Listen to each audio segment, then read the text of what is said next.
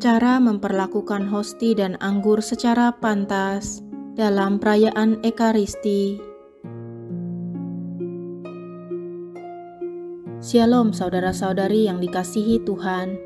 Semoga saudara-saudari terkasih di mana pun Anda berada, senantiasa diberkati, dilindungi, dan diberikan rahmat kesehatan oleh Tuhan. Pada video kali ini, kita akan membahas tentang cara memperlakukan hosti dan anggur secara pantas dalam perayaan Ekaristi. Mari kita simak videonya hingga selesai.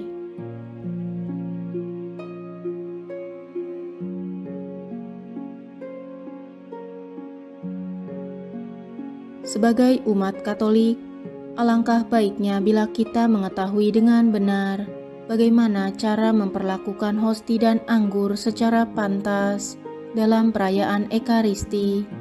Oleh sebab itu, marilah kita bahas satu persatu mengenai hal ini.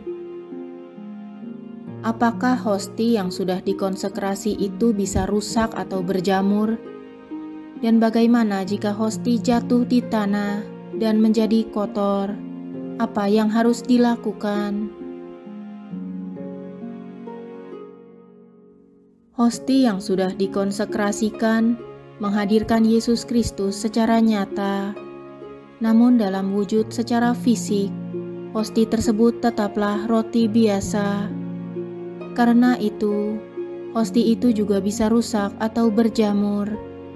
Demikian pula, jika hosti itu tanpa sengaja jatuh di tanah dan kotor, maka hosti itu juga bisa dipandang sebagai roti yang rusak.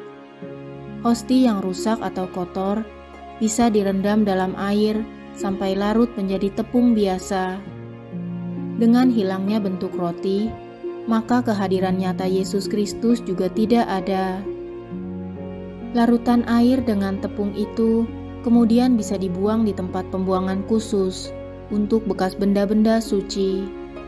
Tentu saja semua itu haruslah diperlakukan dengan penuh hormat. Mengapa hosti yang baru diterima harus langsung dimakan? Apakah boleh dibawa ke tempat duduk baru kemudian dimakan? Semua itu sebenarnya hanyalah karena alasan praktis, yaitu supaya terjamin bahwa hosti yang diterima itu benar-benar dimakan. Karena ada saja orang yang percaya bahwa hosti suci itu bisa digunakan sebagai sumber kekuatan magis untuk berbagai keperluan. Misalnya di Filipina, masih ada umat yang percaya bahwa ayam jago yang diberi makan hosti suci akan selalu menang dalam bertarung, atau juga ada umat yang ingin menyimpan hosti suci sebagai jimat penangkal kekuatan jahat. Adanya aneka pemikiran yang tidak sehat ini mengharuskan kita memperoleh jaminan bahwa hosti yang diterima itu benar-benar dimakan. Lalu, bagaimana bila ada ibu yang setelah memakan hosti kemudian mencuilkan sedikit dan diberikan kepada anaknya yang merengek minta komuni. Apakah hal ini dibenarkan? Tentu saja hal seperti ini tidak bisa dibenarkan. Anak-anak yang belum mampu menggunakan akal budinya secara penuh belum boleh menerima komuni. Dalam hal seperti itu, kiranya ibu itu perlu memberikan pengertian kepada anaknya bahwa komuni itu hanya boleh diterima oleh mereka yang sudah besar. Mengapa Tuhan Yesus menggunakan anggur? Apakah karena warna anggur itu seperti darah? Anggur adalah minuman sehari-hari orang Yahudi. Karena Yesus mau memberikan dirinya sebagai makanan dan minuman, maka digunakanlah minuman yang lazim di Israel. Penggunaan roti dan anggur juga mempunyai makna lebih. Dari Perjanjian Lama, bisa diketahui bahwa roti dan anggur sudah sejak awal digunakan sebagai lambang yang mewakili segala karunia yang diberikan Tuhan kepada kita. Karena itu, roti dan anggur dipersembahkan di antara buah-buah sulung sebagai tanda terima kasih kepada Pencipta.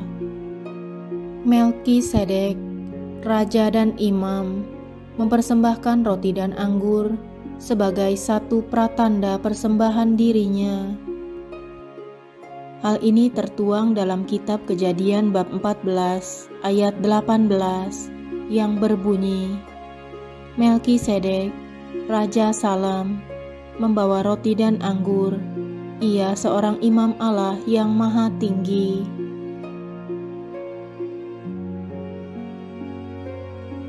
Saat misa kudus, kita sering melihat imam mencuil hosti, kemudian dimasukkan ke dalam piala berisi anggur. Apakah arti dari semua itu? Mencampurkan sedikit dari roti ke dalam anggur yang akan diminum adalah sebuah kebiasaan kuno. Pemaknaan liturgisnya tercermin dalam doa yang diucapkan imam dalam hati ketika memasukkan pecahan kecil hosti ke dalam piala. Semoga pencampuran tubuh dan darah Tuhan kita Yesus Kristus ini memberikan kehidupan abadi kepada kita semua yang akan menyambutnya. Artinya, roti menghadirkan tubuh Yesus yang kasat mata.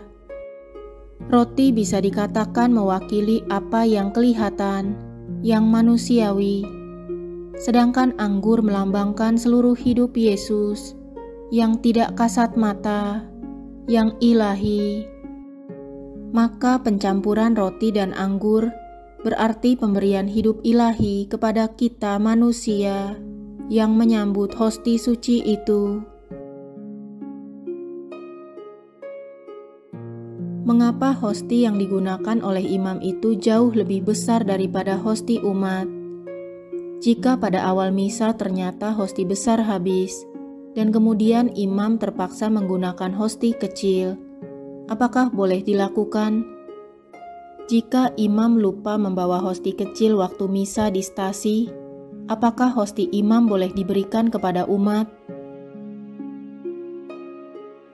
Penggunaan hosti yang bentuknya lebih besar tidak mempunyai alasan lain kecuali alasan praktis yaitu supaya bisa dilihat secara lebih jelas oleh umat yang mengikuti perayaan Ekaristi.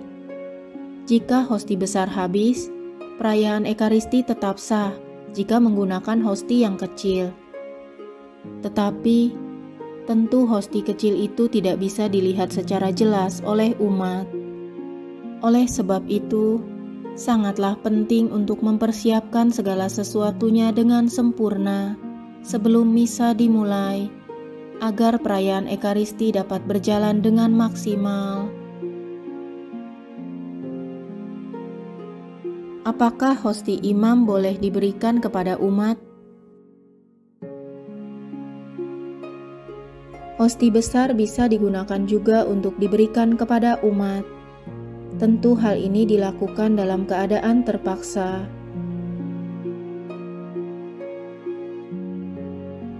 Demikianlah hal-hal penting yang perlu kita pahami sebagai umat Katolik mengenai cara memperlakukan hosti dan anggur secara pantas dalam perayaan Ekaristi. Terima kasih telah menyimak video ini hingga selesai.